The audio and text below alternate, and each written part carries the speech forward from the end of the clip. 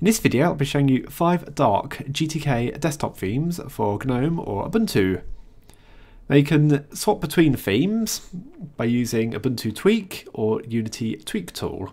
Most of these themes have installers so you don't have to mess around manually copying files to the .themes folder under your home folder. But that's the way to do it if you want to manually set up that way. The first theme I'm starting with is called Zen Nokto. So it's got a nice combination of a dark grey background, light grey writing, and green for scroll bars and buttons. In Nautilus, the file list is striped between different shades of grey. Not quite 50 shades of grey, but uh, you know, there's a, only about three or four shades there. And on the volume control bar, we can see the progress bar has red at the tip. LibreOffice, yeah, doesn't look too bad.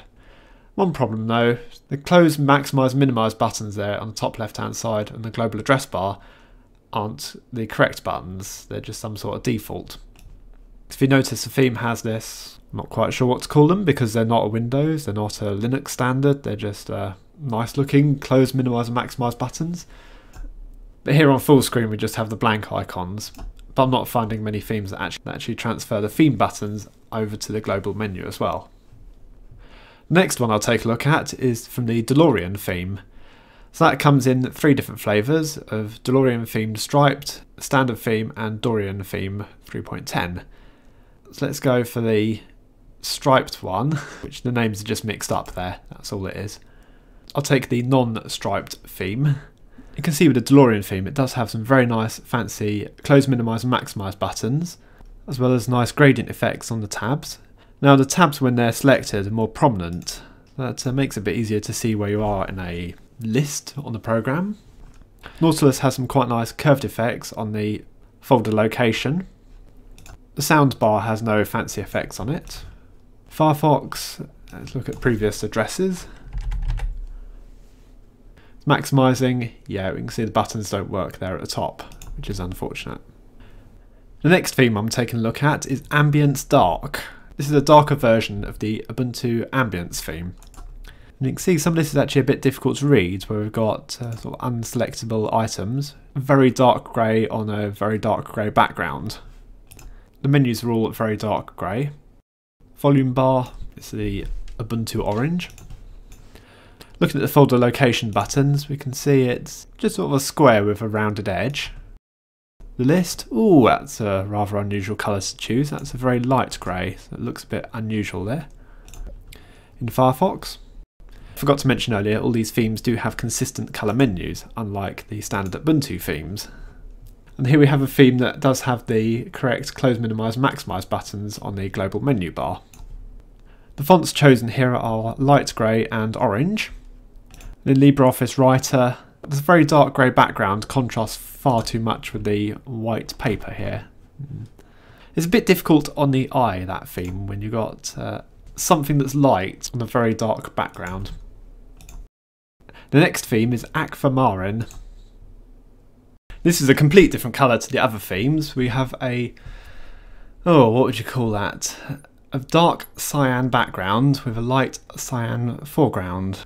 The tabs jut out a little bit there, don't they? But uh, nothing too much to make them really obvious compared to like the DeLorean theme. Interestingly there, on the global menu bar, the minimise and maximise buttons are a slightly different colour. In Nautilus, with the folder buttons there, it seems to be quite difficult to see where you are, doesn't it? So let's trail down a few folders and just it doesn't seem that obvious where each one is selectable. And also there's actually an error there because we're missing the light edge on the right hand side. That's no good.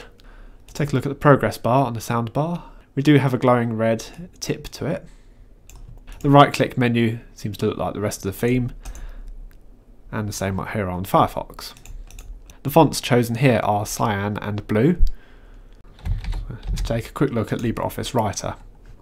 Okay, that does look really bad in places there. We've got cyan writing on the white background. And the last theme I'm going to choose is Zorin Dark Orb 8. This will be one of the themes on the Zorin OS 8 release. And you can see we have a selection of black, dark grey and light blue.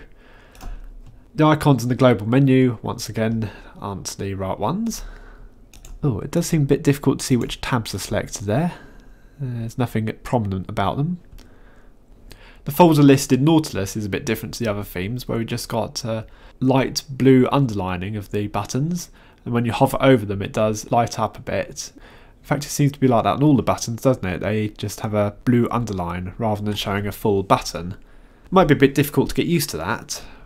Or the right click menu is dark grey and light blue highlighting.